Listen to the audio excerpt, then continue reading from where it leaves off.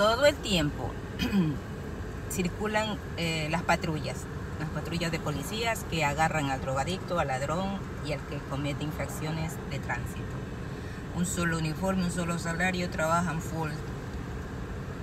Eh, funciona bien, sea en una gran ciudad o el pueblo. Algo digno de imitar. No sé por qué viven divididos en Ecuador.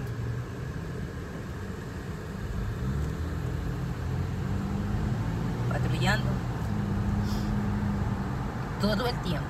Yo no puedo decir que eh, manejo media milla, una milla, cinco millas, diez millas y no me, no me cruzo con un policía. Siempre. Y en los carreteros también están parqueados, escondidos y nadie se queja porque, ay, ¿para qué estaba escondido? no, pues si tú andas haciendo bien las cosas no tienes por qué temer a la justicia. Que se esconda, que se ponga allí el Doppler, lo que sea. Si eh, cometes infracción no querrás tener multas altas porque eres de los que no respeta eh, la vida ajena, los bienes ajenos, ni la tuya. Entonces, quieres que te solape la ciudad, el país con multas baratas y seguir cometiendo crímenes contra la humanidad, atropellando ciclistas, peatones, pasándote la roja, causando choques y salir libre y nunca perder el, el, privilegio de tener licencia. La tecnología para los padres de familia que tienen hijos o esposo o esposa con disability o padres.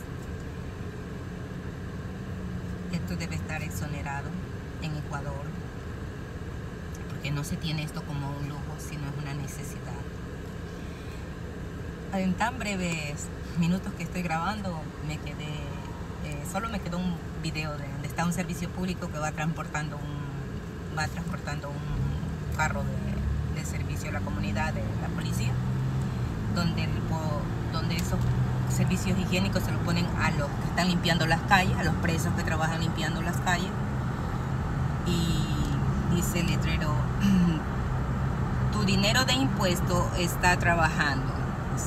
O sea, no hay gente vaga en este país que se lo esté llenando la panza y no les den también la oportunidad de acumular pues su dinero para que al salir tengan cómo empezar a vivir dignamente, pagarse su renta o ayudar a su familia porque los recibe de nuevo y tener que ayudar a pagar si rentan casa o pagar los utilities, o sea, la luz, el agua, se puedan comprar una ropa digna.